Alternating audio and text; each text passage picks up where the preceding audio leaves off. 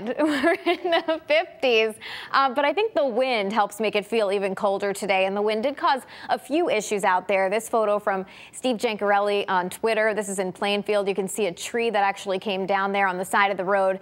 But I think peak power outages, and this is totally unofficial, just me refreshing the pages. At one point, there were about 2,500 people that were without power, which is really not too bad. We did see a peak wind gust around 50 miles per hour, but for much of the rest of the state, there were peak wind gusts between about 35 and around 40. And this photo from eWeather, we got a lot of pictures in from all different kinds. We've got a tree down. We don't like that one, right?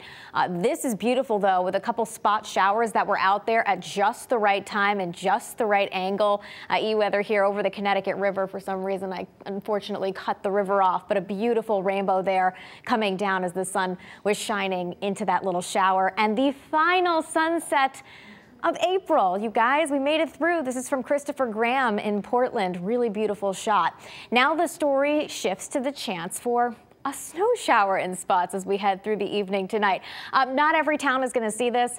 Temperatures are still pretty mild out there, but again, there is a chance for a scattered rain or snow shower as some cooler air comes in and this disturbance continues to dive down from the north. You can already see some snow showers up here through parts of the Berkshires, but what is immediately entering our state will likely fall as just some rain showers. Still, we're not expecting any accumulation out of this, although I'm sure that we're going to see somebody up in the northwestern corner of the state, the icebox of Connecticut, show us a picture of maybe a couple snowflakes on the deck, that sort of a thing. Taking a look at the peak wind gusts out there today, 36 miles per hour in Hartford, 43 for Windsor Locks. We did get close to 50 miles per hour in Bridgeport, 39 in Groton. The winds don't get worse tonight. They slowly start to improve. We got so many questions in about the wind. Susan saying so many wind days this year. Ugh. We got another one in. This is from Ellen saying empty garbage cans were flying all over the neighborhood today. And Dana saying wind anxiety might actually be a thing for us here in Connecticut soon. Enough is enough. I actually looked back and a lot of people saying, why is it so windy lately? I looked back at the data to try to see if I could form a connection to see if it really has been more windy, maybe the last six months compared to previous years, and I couldn't back it up. We had a regular number of wind advisories and high wind warnings, and the mean wind for the year and so far, year to date, has been very similar to previous years. So I'm with you. It really does feel like we've had more high wind days than usual, but again, I just couldn't find the, the data to back it up. Right now, temperatures are in the 40s to around 50 degrees, which is why we're not too worried about these snow showers that are coming in here tonight. And you could just go to bed and miss out on this thing entirely. Overnight lows will be around 40 degrees for most of the state, but I do think some of our cooler spots and outlying areas could drop into the mid to upper 30s tonight. So here's a look at what that future radar looks like as we head towards 11 o'clock, midnight, 1 o'clock in the morning.